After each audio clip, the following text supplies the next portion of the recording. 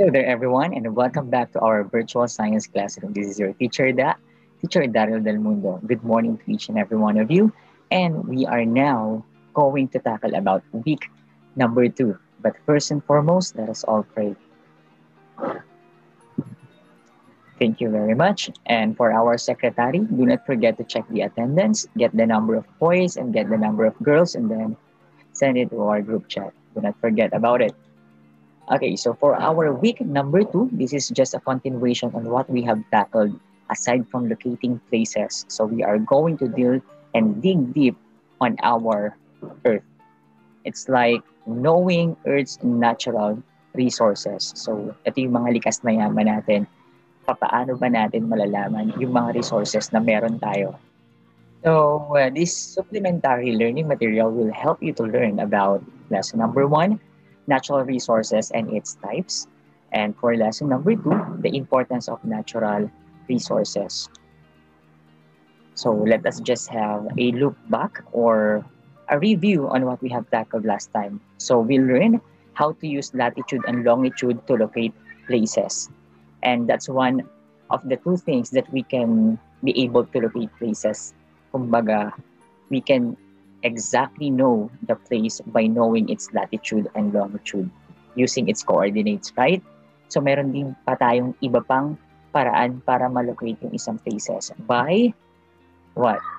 Okay, by locating land masses and water forms near the country.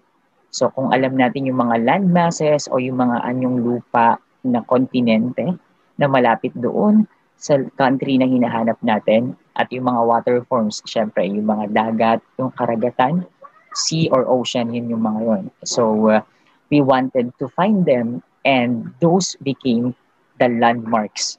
Okay? Those serves as the landmarks of that particular place. For example, we have here the Philippines. And if we wanted to locate the Philippines, we have first the landmass at the north, Hong Kong. Okay? Then, at its west, the Vietnam, and at its south, it's Indonesia. Wala tayo sa east kasi nandyan ang Pacific Ocean. So, those are the land masses that can be found surrounded the Philippines. At the north, Hong Kong. At its west, Vietnam. And at the south, it's Indonesia. So let's look at the water forms that can be found in the Philippines so that we can locate it. Number one, we have the West Philippine Sea, or sometimes it is called South China Sea. West Philippine Sea, it is located at the west. Okay, then we have Philippine Sea at the north. Then at its east is Pacific Ocean. Okay, so if you located, for example, Pacific Ocean and you have West Philippine Sea and you also found the land masses like Hong Kong, Vietnam, and Indonesia, therefore, you got the Philippines already. You located the Philippines already. Okay, so so with the help of land masses and water forms, we will be able to locate a specific place or location. So for our uh, review or looking back, all you have to do, these natural resources are used in production. So production of food, energy, and other manufacturing. Match each raw material or resource in column A and the good used to it in column B. Write only the letters of the correct answer. So we have column A for the resources. And then we have here column B for the uses. So all you have to do is to match column A to column B. Write the letters only. So for example, gold. We can say that gold can be used as jewelry, accessories, and dental materials. And another example, that's letter G for number one. And for number two, we have trees. So trees can be made into paper, furniture, or fuel. So that's letter E. So number one, G. Number two, letter E. And then do the rest. Okay, wag kalimutan. And for lesson number one, we are going to tackle about natural resources and its types. So as a brief introduction, planet Earth is made up of different things like air, water, plants, animals, soil, rocks, minerals, crude oil, and other fossil fuels. These things are called natural resources because they are not made by people, rather, they are gathered from nature itself. Sunlight and wind are also natural resources. We use all these things to survive or satisfy our needs. It is very vital for life forms, especially human beings. So this picture, it looks like a compilation of different natural resources in one that can be found inside the earth. Okay? And another thing, we are lucky here in the Philippines because the Philippines is considered rich in natural resources. We have fertile, arable lands, high diversity of plants and animals, extensive coastlines, and rich mineral deposits.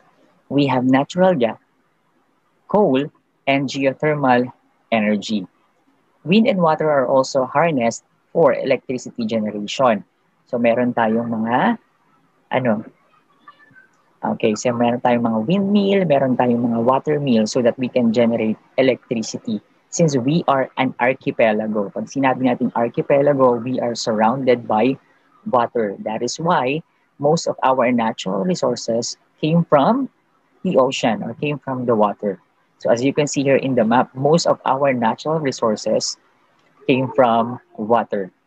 Okay, and since we are made up of different islands, how many islands? 7,641 islands. So we have a high diversion of plants and animals. Okay, and that's very good. And uh, what are the different types of natural resources? So there are two types of natural resources on Earth. So we have renewable and non-renewable. The question is, what is the difference between these two kinds of resources? Just look at this picture. So renewable and non-renewable energy sources. In renewable energy, you can get a hint here. We have solar, come from the sun, hydropower, come from water, biomass, came from living things, geothermal, came from the heat from the ground. Then we have the wind, renewable. And on the other hand, we have non-renewable energy. We have oil, we have coal, we have nuclear, and we have natural gas.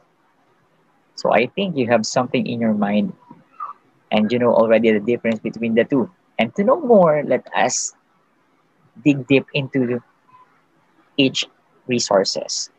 So for renewable resources or renewable energy resources, the food people eat comes from plants and animals. Plants are replaced by new ones after each harvest people also eat animals. Animals have the capacity to reproduce and are replaced when young animals are born.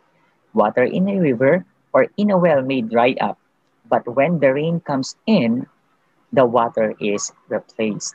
Plants and animals and water are resources that can be replaced. All the resources that can be replaced or napapalitan, they are renewable resources.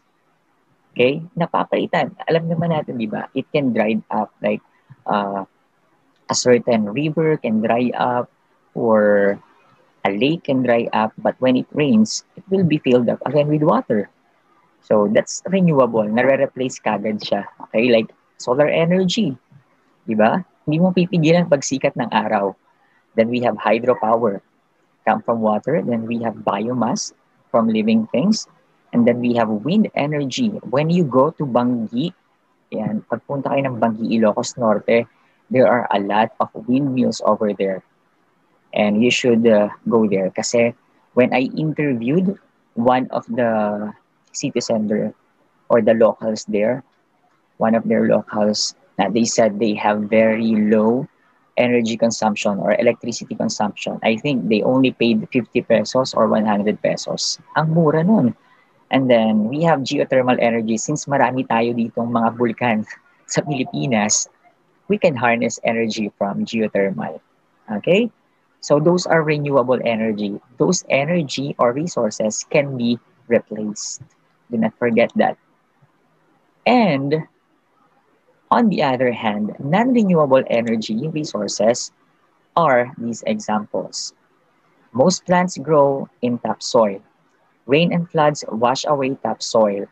Can topsoil be replaced easily? Of course not. Soil comes from rocks and materials from dead plants and animals. It takes thousands of years for soil to form. So galing kasi siya sa bato, sa rocks, and with other living organisms. Soil cannot be replaced easily or it takes a very long time to replace. It is known as the non-renewable resources. So we have here fossil fuel from the word fossil. So those are the animals and plants that lived thousands, hundred thousands, and millions of years ago. Okay, then we have coal. Then we have natural gas. We have nuclear energy. So for instance, uh, fossil fuel, yung mga nabuhay na animals before. And even the plants that lived thousands and millions years ago, they died already and they become fossil fuels. Okay? So sila yung ginagamit natin ngayon, yung mga crudo sa gasolina, kung bakit tayo nakakabili ng kuryente sa ibang bansa, it's because of the oil. Okay? Kaya sila nagdidig deep sa pinakamalalim na dagat, sa disyerto, at kung saan man, kasi they get the fossil fuel there. Saan ang galing? Sa mga dinosaurs, yan, sa mga plants. Usually, kapag animals, fossil fuels. Okay? Kapag naman plants, yung mga coal o yung mga ulim, pwede natin yung pagkunan din ng energy but they are very limited because they cannot be replaced easily. Okay? Unlike ng sunlight, unlike ng water, unlike ng wind, they are unlimited, right? And they can be replaced. While non-renewable, they cannot be replaced easily. Okay? You need to wait for millions of years for you to get that fuel, fossil fuel again, for you to get that coal again. Okay? And next, why non-renewable is limited? So this is the reason. Metals like copper, iron, and aluminum are abundant on Earth. So, but people are using them very fast. Okay? So they have to dig deeper into the ground to get what they need.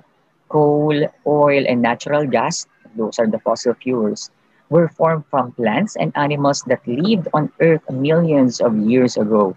It takes millions of years for dead plants and animals to turn into fossil fuels. Soil, coal, oil, and natural gas are non-renewable resources. Kaya we should be able to become aware of the usage of everything. For example, metals. Galing yan sa mga bundok metals are part of rocks. They are ores. Kaya yung mga metals na yan, anong ginagawa dyan? The metals are being extracted from the rock. So they need to what? They need to destroy the part of that rock. Or maybe they came from mountains. And another thing, so we have coal, gas, and oil. So we need to be aware of how to use it wisely, coal, gas, and oil. So kailangan natin magtipid, okay, as much as possible. And for lesson number two, the importance of natural resources. Why do we need to take care of them and why do we need to be aware of the uses of it? We should know its importance. So why is it important? All resources used by humans, including fuels, metals, and buildings, or sometimes materials that we use for buildings, come from the earth. So many of these resources are not in endless supply. They are very limited. It has taken many thousands and millions of years to develop and accumulate these resources.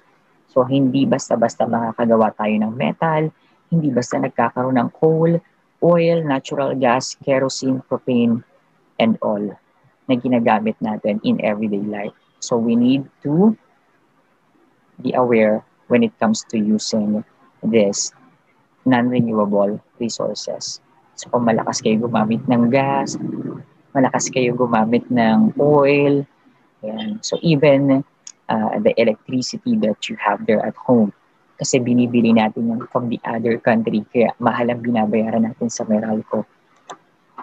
Okay, then we need to conserve our natural resources. We need to conserve and preserve because we only have one earth. To conserve natural resources is to protect or use them wisely without wasting them or using them up completely. Or we can say, do not abuse. Okay? Conserving natural resources can make them last and be available for future generations. This is what sustainability of natural resources means. Each one of us should think about how to make things sustainable. Remember, the lives of future generations depend on how we use natural resources today. So if we wanted for the next generation to see what the world looks like, then let us preserve our natural resources. Remember these things. Our natural resources must be preserved and conserved for the benefit of the present and the coming generations. In order to do so, let us learn to take care of our earth. And as we take care of our earth, what we need to do is be an earth warrior or be a worthier.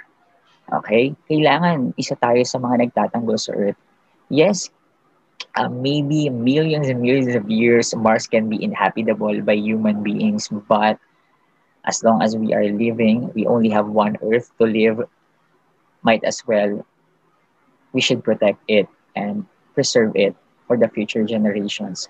So all you have to do is to join different organizations or clubs in your school that helps to conserve and preserve the earth. Participate in natural or in different national Earth Day around April, something like that. So kung alam niyo yung National Earth Day, you can participate. So you can uh, join in Eco Servers Club. So if you wanted to join uh, also Earth Club in your school, you can do it so and participate in Earth Day. I think all you have to do is to turn off everything, something like that, just for an hour. Yan. So, basically, papatayin mo lahat ng saksakan, papatayin mo yung uh, switch mo ng kuryente so that you will be able to conserve and preserve also the natural resources and even the earth. Okay? So do not forget to answer the following. Watch this video for you to be able to review and answer all the questions in your Google Classroom. So do not forget answers only. Take a picture of it, then attach it in your Google Classroom. For lesson number one, answer pages number three for the pretest and page five. And for lesson number two, answer pages number six, seven to eight for post-test. So if you want to ask something, if you have any clarifications, just contact me and you can reach me through my social media accounts. And uh, I hope you learned something today, and that's the end of our quarter four, week number two. Let us be excited for the next week and have a nice day. Goodbye. God bless, and see you all next week, guys. Bye.